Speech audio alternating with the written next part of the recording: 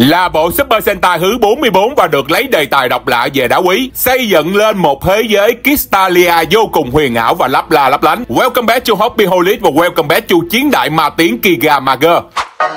Ladies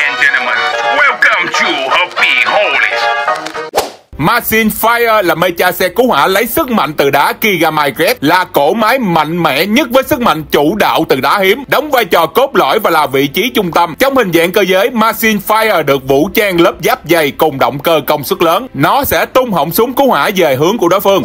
Machine Sovelo là kiểu chơi chữ giữa từ Sover là máy xúc và Yellow là màu vàng chủ đạo của viên đá quý thứ hai Kigamai Yellow. Trong hình dạng cơ giới là một chiếc xe máy xúc kèm năng lượng từ đá hần. Sovelo được tôn xưng là hữu lĩnh của quân đoàn Sovelo.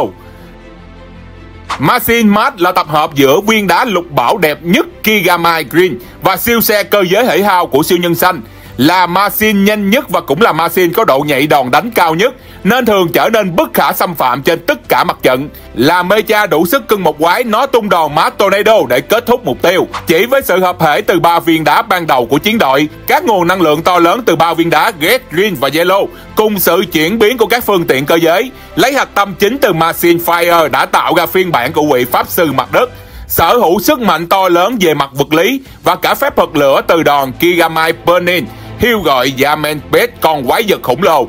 Trước khi tung ra đòn kết liễu, hang lửa Len Gao Smart đấu trường lửa hiền gực cháy Machine Gastai Len May, Pháp Sư Đức Machine.